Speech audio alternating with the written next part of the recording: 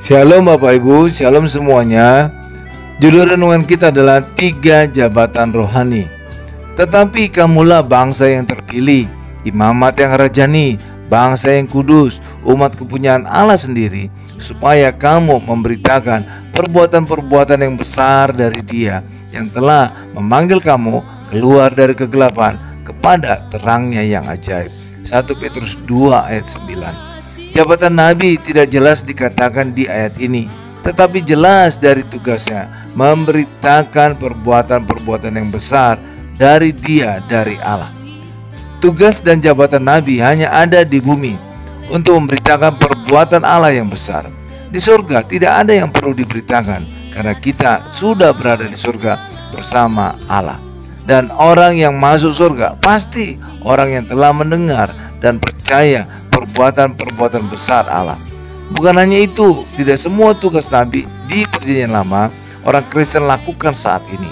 Seperti tugas Nabi pada Perjanjian Lama menunjukkan dosa orang Israel.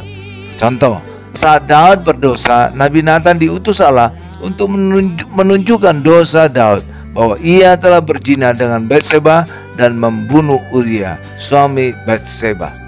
Hari ini kita tidak lagi diutus untuk menunjukkan dosa karena semua orang di dalam Yesus dosanya telah diampuni. Ditegaskan lagi bahwa Allah melupakan dosa-dosa kita. Aku akan menaruh belas kasihan terhadap kesalahan mereka dan tidak lagi mengingat dosa-dosa mereka. Ibrani 8 ayat 12. Bagian kita hari ini bersaksi tentang perbuatan-perbuatan besar Allah di dalam Tuhan Yesus ke seluruh dunia. Itu adalah amanat agung yang menjadi tugas orang Kristen.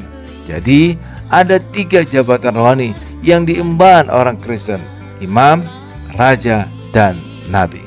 Pada masa perjanjian lama, imam, raja, dan nabi sangat berkuasa.